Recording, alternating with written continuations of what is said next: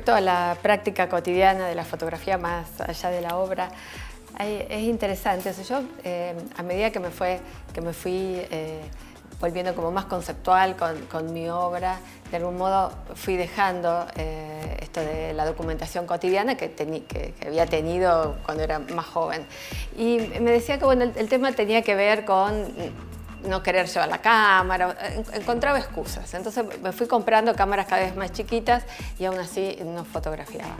Eh, y eh, la cosa cambió cuando eh, me compré un, teléfono con cámara. Y ahí recuperé esto de fotografiar sobre todo la vida de, de, las chicas, de mis hijas, mi familia, mi gato. Y me abrí una cuenta en Instagram que dice todos los lugares comunes. Entonces, eh, es interesante porque yo me autoricé a eh, hacer todo, pasar por todos los clichés. Eh, las fotos de la sombra, las flores, las flores el amanecer, el atardecer, todo, todo, todo. Eh, los hijos también, o sea, aparte. Eh, no, no hay tanto evento social, no hay tanto evento social. Entonces fui viendo a ver qué pasaba y también fui aprendiendo, por ejemplo, que me gusta el retrato, cosa que yo desconocía totalmente de mí misma. Eh, que me, que me, gustan las puestas en escena, que también lo desconocía.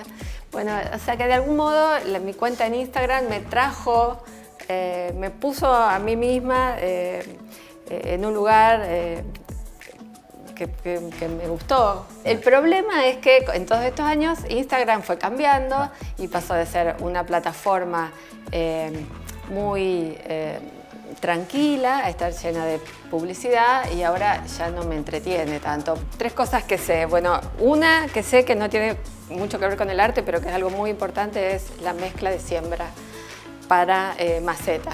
Un tercio de turba, un tercio de perlita, un tercio, un tercio de humus. Mezclas eso, pones una semilla y te garantizas que brote. Eso es muy importante. Después otra cosa que sé es que em, para leer viene bien escribir y la escritura ayuda a leer. Y otra cosa que sé es que para aquietar la cabeza hay que mover el cuerpo y que el equilibrio viene después del movimiento.